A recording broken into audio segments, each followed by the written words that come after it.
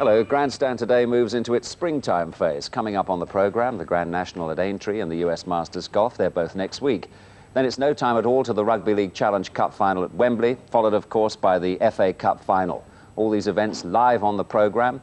And of course, this is the time of year when the League Championship will be settled, the cricket season's about to get underway, and flat racing gets fully into its stride.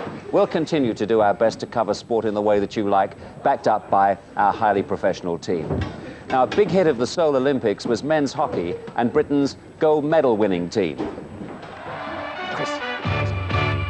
Well, I hope that gave you a smile. But as I understand it, you may have seen a bit of an altercation behind me at the start of the programme uh, we can only apologise. But in the great tradition of television sport, let's just see that again.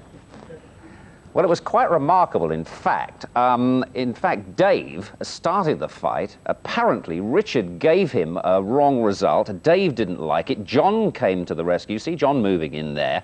The other Dave was involved too. And then, of course, there was Peter on the left. Well, Peter got really stuck, and it was absolutely quite remarkable there for a moment or two, as you see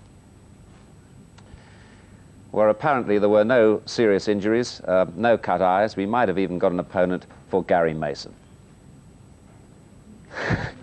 well, we have to enjoy ourselves as well, you know. Did you know? You didn't? Well, okay. Well, now it's down to...